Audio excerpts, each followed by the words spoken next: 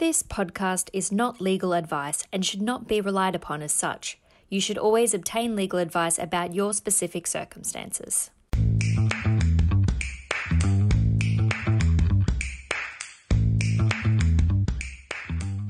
Welcome to the second episode of Tax Records, our podcast looking at the latest hot topics in tax. My name is Adam Dimac, and I'm a senior associate in the Hall and Wilcox tax team. Today, I'm joined by one of our tax partners, Anthony Bradica, and we're going to talk about the tax issues and risks when you engage a contractor. Now, as we're all probably aware, we've had two recent High Court decisions relating to the employee contractor distinction. Separate to that, I think it's clear that when you operate a business and engage a contractor, you need to be aware of a number of tax risks associated with the arrangement.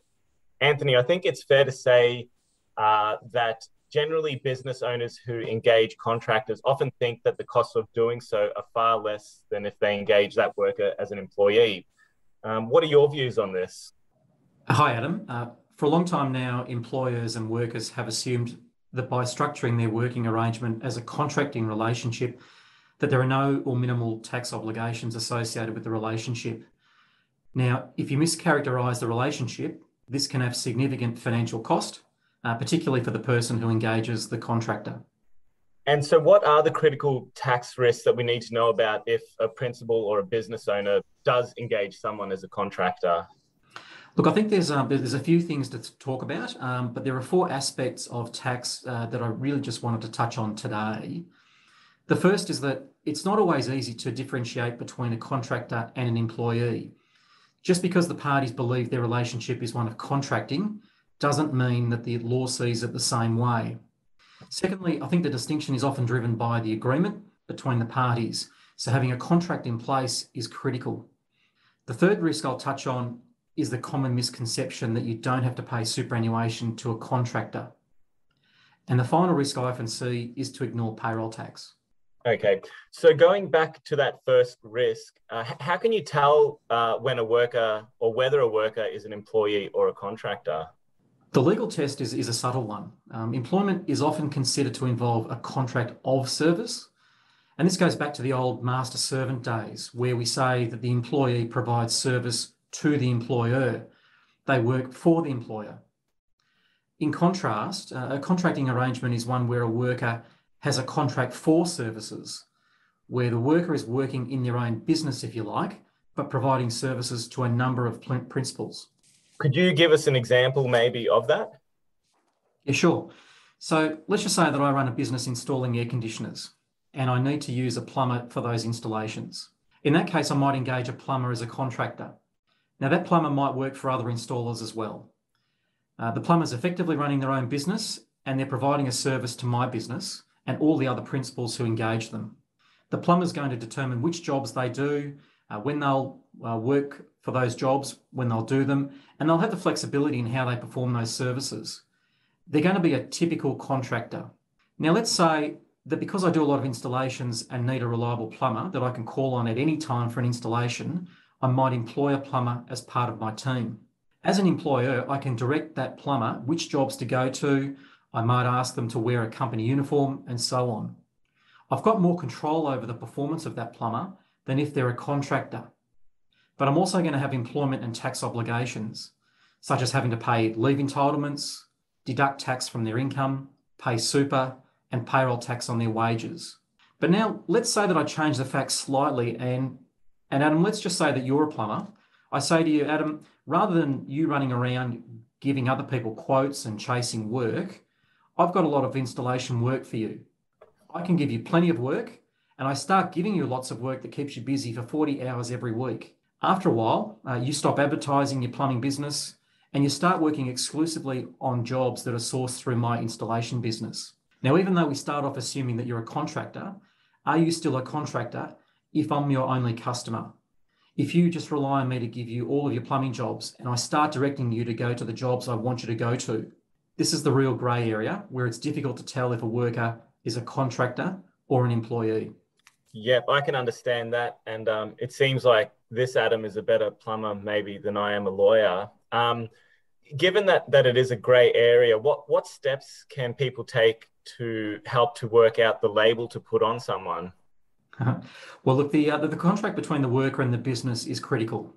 Um, now, there may be a written agreement, or in a lot of cases, the parties may have had some sort of handshake deal for a, um, a going, going rate, say $120 an hour, and go from there. And for a long time, the courts would say that when you had to consider whether a worker was an employee or a contractor, you'd look to the day to day working arrangements of the parties. This was the way to assess whether the worker was an employee or not. You know, how often did they work? How many days? How many hours in the day? Did they have to wear a uniform? Did they work for other principals?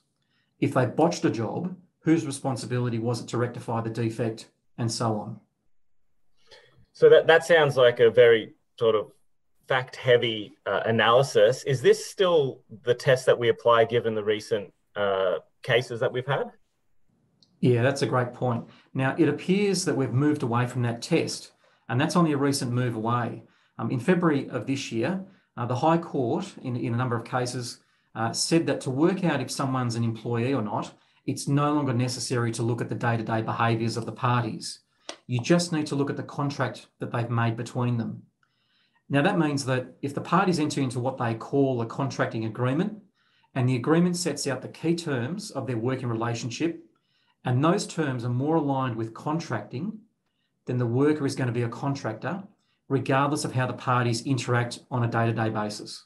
And I mean, in the tax world, we often talk about taxable facts, uh, and we've probably all come across circumstances where there just is no contract. What, what do we do then?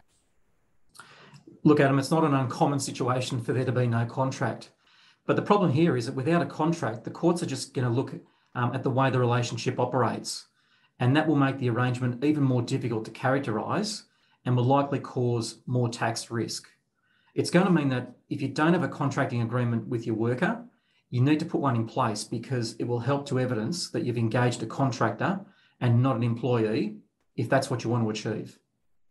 Understand. So probably makes sense to go back and do that housekeeping and get a, a written contract put in place. Um, back to the tax risks, though, I think the next one you mentioned uh, related to superannuation and contractors. Is that right? Uh, yeah. So, so as we all know, you've got to pay superannuation to your employees, and currently the super guarantee rate is at uh, 10% for the 2022 year. And as we all know, all know, contractors are not employees. But superannuation also can apply to people who are deemed to be employees. And can contractors be uh, deemed to be employees for superannuation purposes? They can be, yes. Uh, in the case of contractors, you need to pay super if the contract with the worker is uh, wholly or principally for their labour. Now, in that example I gave earlier about Adam the plumber, um, even if um, Adam in that example that I gave is a genuine contractor, um, because he's providing plumbing services to my business, and that's labour, he's providing labour to my business, I've got to pay him super, even though he's a contractor. All right. And what about business owners who haven't done that in the past? Is it a case that, you know, the past is the past? You know, everyone did it. I was a bit unsure maybe about my situation. Or are there some additional risks? And, and is there a cutoff? Or is, is this is this something that, you know, can can hang over the head of a business owner or a principal forever? Yeah, I think unfortunately so, Adam. Um, this aspect of contracting isn't well understood, and, and people seem to think that uh, what happens in the past is in the past and, and, should stay there. But unfortunately, that's not the way the uh, the regulator, the tax regulator, the ATO works. Um, and what I've seen is that after a few years, you know, when the working relationship goes bad and people become aware of their rights, um, this is where a contractor who's been underpaid their super, uh, they may go and contact the ATO and complain that they've missed out on being paid super over many years.